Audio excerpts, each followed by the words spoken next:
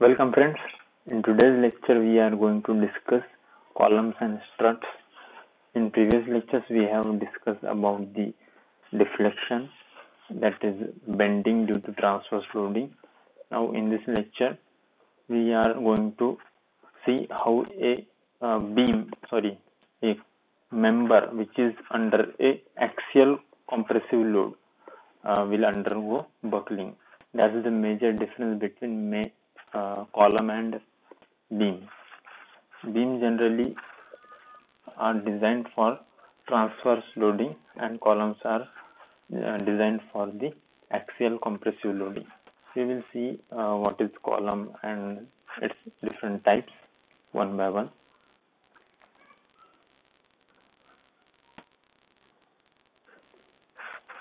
There are actually three types of column short column, medium column, and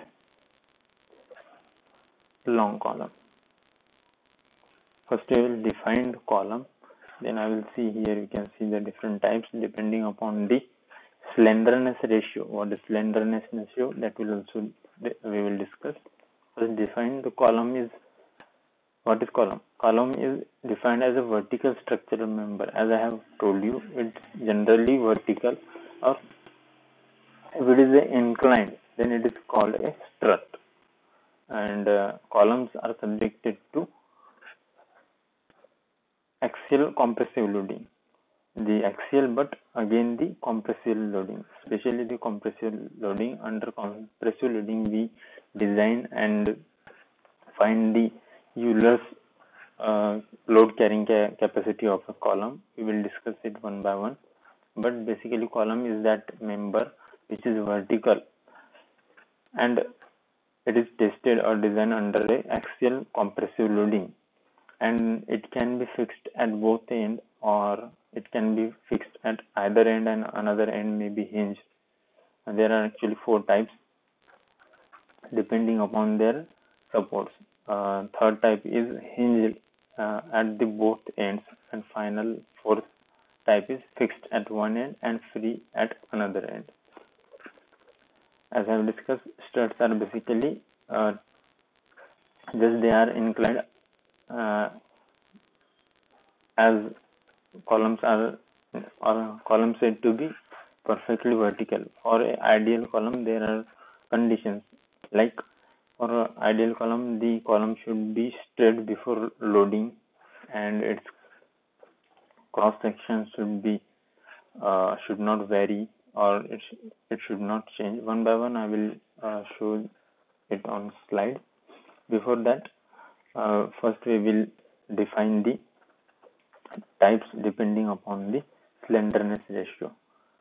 If slenderness ratio is less than 30 then we will call it as a short column right? And uh, if the slenderness ratio is between 30 and 80 not exactly 80 but sometimes up to 100 we will call it as a medium column. Here you can see up to 30 we will call it as a uh, short column.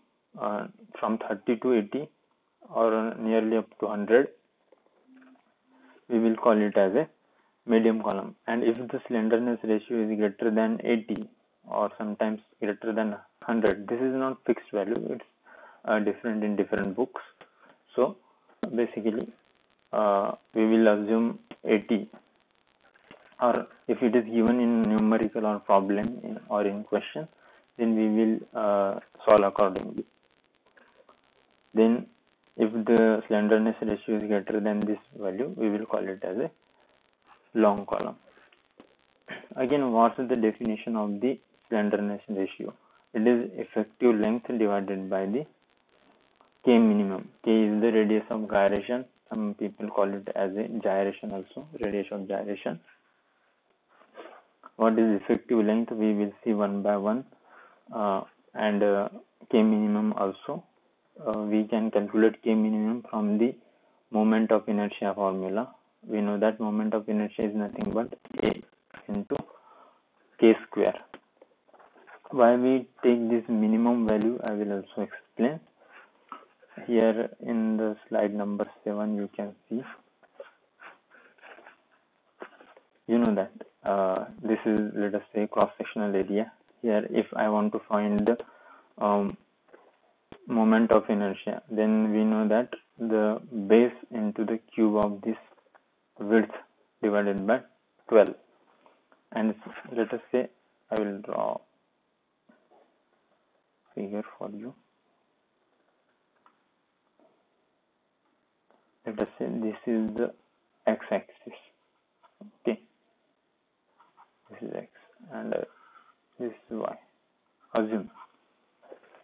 Then uh, these sorry moment of inertia about this axis will be bd cube by 12 and uh, about this axis it will be db cube by 12 you know that as the value of d is lesser than b because this length is higher and this is smaller. Here also you can see.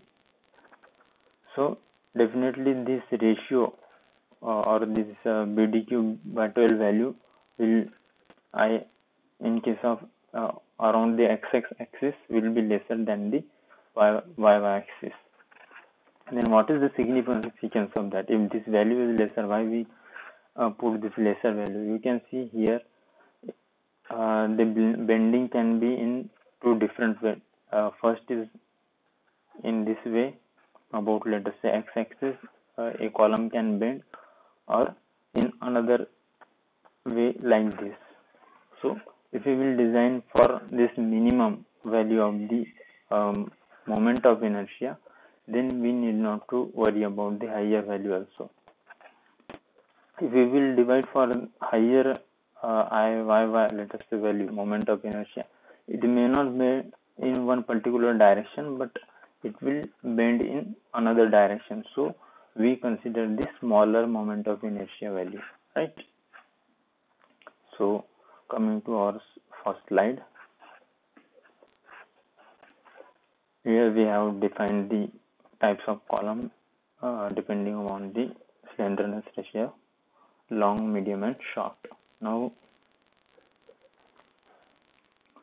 uh, the difference actually I have already told you. If the deviation of a longitudinal axis of a structure member occur un under the compressive loading then we call it as a buckling. Whereas in bending there is a let us say in the this is the column and this is the vertical axis axis. Then compressive loading is like this and column will bend like this right? And in case of uh, beams we generally know if this is the example of beam the deflection will be like this. Uh, this is the axis longitudinal axis and uh, you can see here the deflection is uh, due to the transverse loading, not the axial loading, right? No doubt, uh, both the uh, members deflect or deviate in transverse axis, but the reason behind the deviation is different. In case of uh, columns, it is due to the compressive axial loading. Here also we can more precisely call a column uh, as an ideal column when it is perfectly straight before loading and made by a homogeneous material and the load passes through the center of gravity of the cross section. Let us say this is the cross section if we will cut it and it should be and the load should act exactly at the center of the gravity center of gravity of the cross section at the CG okay. Now what is Euler's load we have uh, defined slenderness ratio. What is LE we will discuss all here. Those uh, terminologies were taken from this Euler theory. LE that is effective length I minimum and all First of all, we will uh, discuss the assumptions uh, which are necessary for deriving the formula for Euler's law. What assumptions Euler have uh, put before the uh, deriving this theory or stating this theory? He assumed that material is homogeneous and isotropic, so that it also obeys the Hooke's law, that is, stress is directly proportional to strain, right? This is the Hooke's law up to elastic limit. You know that if this is the curve, uh, stress strain curve, we consider that this is the elastic limit. That means in this region, stress is directly proportional to strain. That is the first assumption. Then self weight is neglected. Again, the effective sorry effect of crushing load is also neglected. We consider there that only a uh, bending or the deviation due to bending. It's right, uh, and it is true when the length, if the length vary as compared, uh, sorry, very large as compared to the cross section. Let us say this is the cross section, and I am assuming very large length. So we can uh, understand from here, and the load is um, Another assumption is that load is truly axial load. That means no transverse or inclined loading is there. It should be truly axial. Right? Not like this or not. These both are not accepted. Only this type of loading. And effect of friction at the hinge joints are neglected. Right? That means there is no friction at the hinge joint we assume it like that. Here you can see uh, what is the difference between crushing and uh, what can I say buckling. Here you can see if the uh, length of the column as compared to its cross section area is not so large and again we also consider that slenderness ratio is less than 30. So in this case, the mode of failure will be a crushing. That type of column will fail under crushing. While uh, here you can see the length is very large as compared to cross section and uh, in another way we can say that slenderness ratio is greater than 80 or between 80 to 100 or more than 100 right? Then in that case the failure of the column will be due to buckling. That means it will buckle. And here if you will uh, put a load like let us say it is a brick which we use in construction its slenderness ratio is less. If we will apply a load under uh, let us say any specific or sophisticated instrument then you will find under pure or only axial loading which we consider for our the Euler's theory as per our assumption the load should be purely axial. Then you will see it will not undergo buckling like this but it will undergo instead a crushing. That means it will lose its shape. It will collapse right? Now then the Euler's formula for the load. It is also called as Euler's load buckling load crippling load or critical load.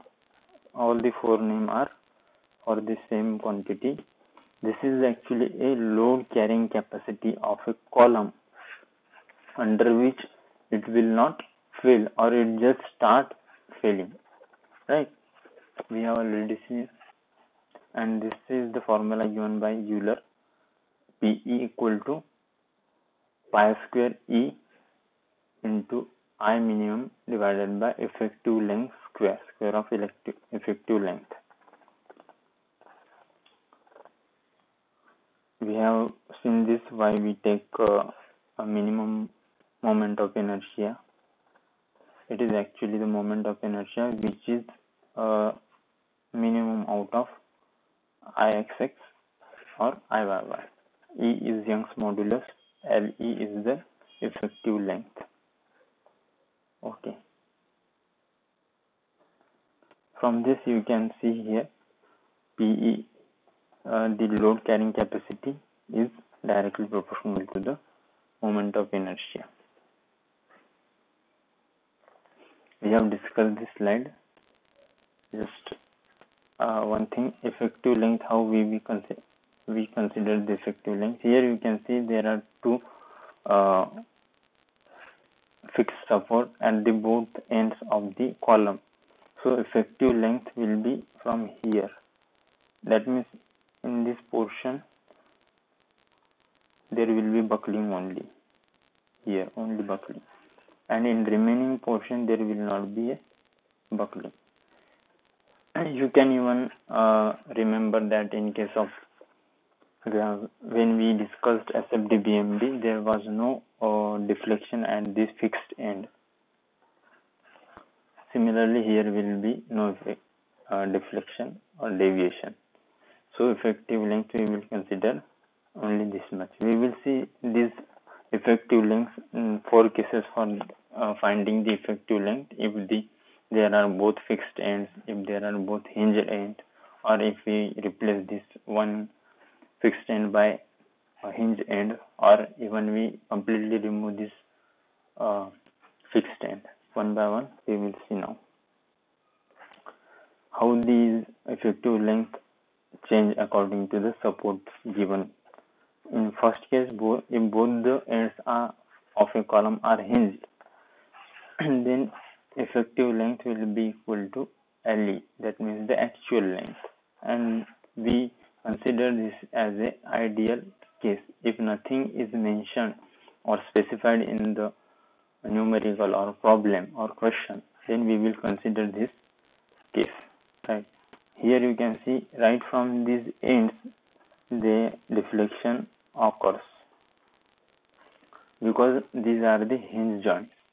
You know that they can rotate like uh, uh, pulley. You can see so uh, the formula for the effective sorry Euler's load will be same as it is pi square by sorry pi square into E into I minimum divided by LE square. LE is exactly equal to L. It is this case is only for uh, if the both ends are fixed. Now uh, we will replace this uh, upper hinge with another and how we will see how this change uh, there is change in the effective length no matter if here is fixed end or uh, here is hinge. Or here is hinge and here is fixed. The effective length will be same in both the cases. Here you can see up to this point there is no uh, deviation. Only this much length will be effective length where deflection or deviation can occur. So that uh, LE will be equal to the 1 by root 2 times of the L. Here you can see this is the multiplication factor. 1 by root 2 is the multiplication factor. Why I'm uh, writing like this if you don't remember by or don't identify or you are not able to identify uh, from this figure you can even make a table like this and put this value let us say both ends are fixed uh, or hinge. If both are hinge then what is the value of alpha you can write here? Alpha it was 1 in this case if one is fixed one is fixed and one is hinged then we have got the value of alpha as 1 by root 2 like this you can also remember but uh, I don't find it uh, more effective. I find uh, it by looking at the figure itself easier than this this one. So if you cannot remember you can put create the table like this. And what is this? N n is the uh, final multiplication factor for the pe here you can see. I can even write like this. Pe equal to n into the similar formula pi square e into i minimum divided by l square. Here should be square. Right. Only uh, this multiplication factor you should keep in mind. Again here you can put a another row where you can easily uh, find the effective load. How many times the effective uh, load is changing. You can see in previous case it was the uh, n value was 1 1 only. Because and here it is coming equal to 2 from this formula right? n is equal to 1 by alpha square. No need to uh, remember actually these values if you can calculate by looking at the figure. Then moving forward if we will uh, change these supports from hinge to fixed that means here both the uh, supports are fixed. Then here you can see uh, what will be the effective length. Effective length you can see it becomes exactly half of the actual length right here you can see only up to this portion there will be a deviation and here in this in this both this portion there will be no deviation so LE is the half. Here you can also uh, write like this half into L. So alpha is equal to half. This is the multiplication factor only. Again we will put the value of LE half L by 2 bracket square. What we will get 4 times the pi uh, square E into I minimum by L square. So in this case, the multiplication factor is 4 in case of the effective length. So here you can see that out of the four cases, this one is the strongest uh, case because the both the supports are fixed. You know that at fixed support there are two reaction or supporting reaction which will nullify the forces. And in case of hinge if it is a hinge joint there will be a only one reaction right?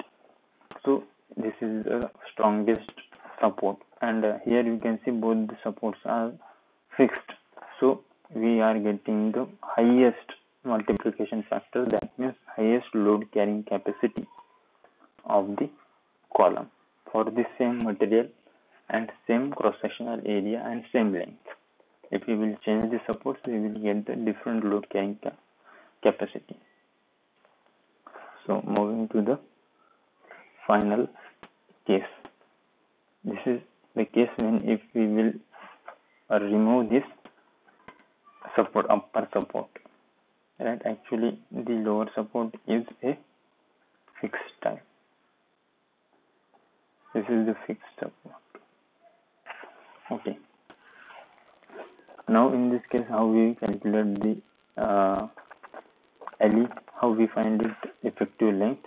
Actually if you can uh, draw a imaginary column below the support. Then you can see uh, there will be a deviation at this fixed support also uh, in case of a hinge type and fixed at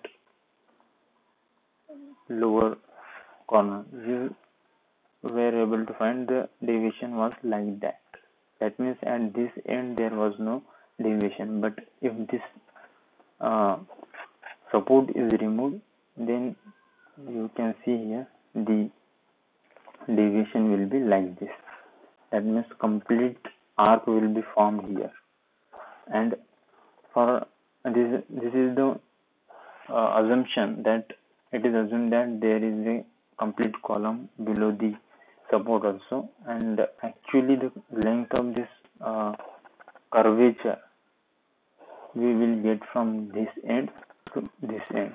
That means this complete is the length for effective length uh, where the deviation can occur right? So here LE is the twice that of the actual length. Here multiplication factor factor is 2 let me change the color. Here is the multiplication factor is 2 so I'll find to do and the final multiplication factor n for the effective uh, sorry Euler's load will be 1 by 4 that means lower. In first case n was equal to 1 in second case it was 2 in third case it was 4 and here now it is 1 by 4 that means 0.25 you can understand that this is the weakest type of support or the condition case. If we will remove one support you can even just by imagination can find on for a single support how a column can sustain. It will sustain very less amount of uh, load. So this is the uh, weakest column. And uh, when the both the supports are fixed that will give you the strongest support or the strongest case where the column can bear a maximum Euler's load or applied load right? Now here are few formula related which can be uh, useful for finding the uh, values of numerical or solution of numerical problems. Ratio actually we have discussed it it is s is equal to le divided by k minimum you know that le is the effective length k minimum we will find from this formula right k minimum is equal to under root I minimum by A. Also, we have find out uh, discuss the slenderness ratio, the significance of slenderness ratio, and how we have uh, classified these columns. Actually, this slenderness ratio, slenderness ratio is actually related to the type of the material, which type of material we are choosing. It will be different for different material. Let us say or steel it, this ratio will be different. For cast iron or sorry for let us say copper it will be different. So, so all these values are only for the steel. Right now you know that uh, the formula for stress is nothing but force upon area in our case force is Euler's load so we will put the value of Euler's load pi square E by I minimum upon AD. From this, uh, actually we are converting or creating a relation between Euler's stress and slenderness ratio.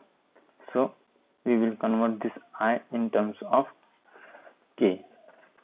Here we have got I minimum by A equal to K square. We will divide uh, this LU by K. So here we have got the equation in terms of F. What it is? Pi square upon E.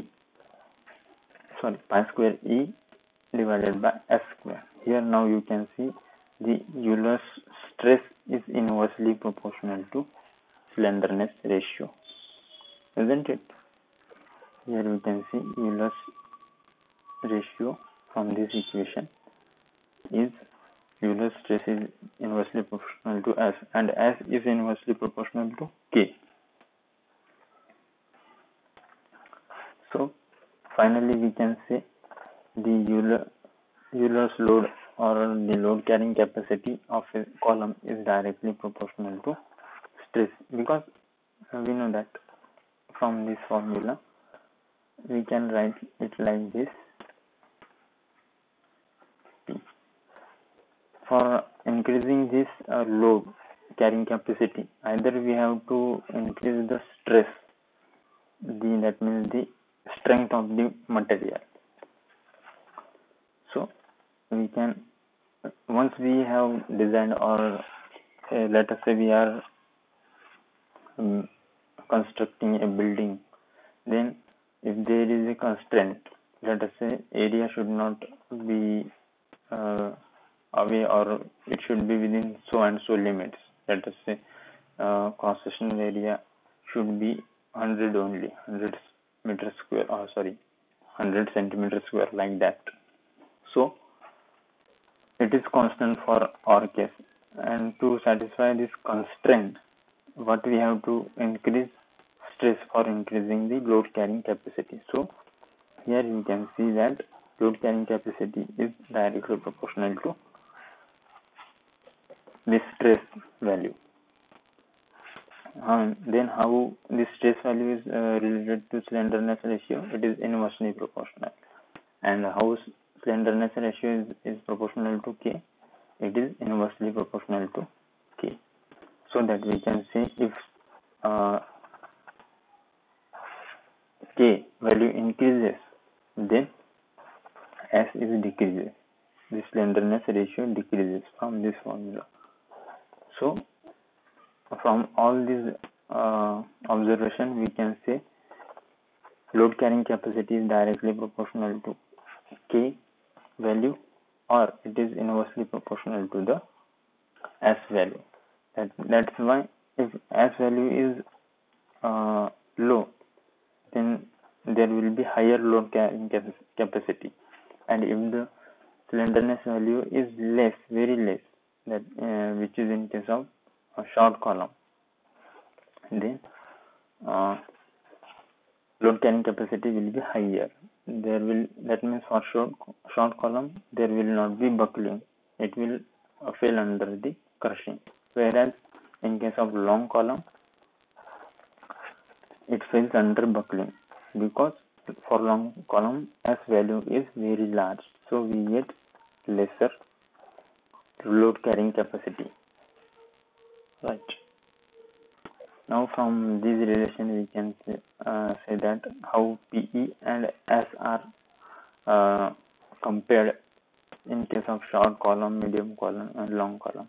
For short column the value for of S is very small and for long column it is large and for medium it is between the short column and long column and what about the load carrying capacity. Load carrying capacity for short column is very high and which is greater than the for uh, load carrying capacity for medium column and which is again greater than load carrying capacity for long column. That means load carrying capacity of long column is very low or lowest in all these three types of columns here you can see if uh, for design problems if data is given then we you should consider uh, the elastic limit in case of long column. Because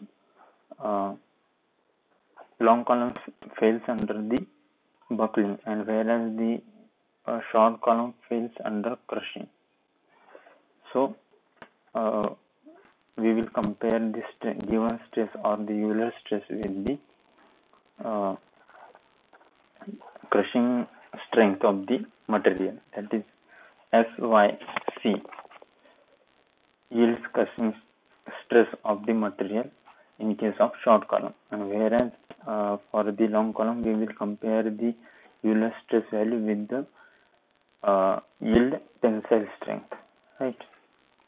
That's all about the column which is necessary for solving examples and uh, that was the complete theory about the columns. So uh, if you have any doubts you can write in comment box. And for more uh, knowledge about the beams you can see our previous lectures on SFD BMD uh, where I have explained the complete details and shortcuts for solving the or drawing the shear force diagram also. So keep us following. Thank you.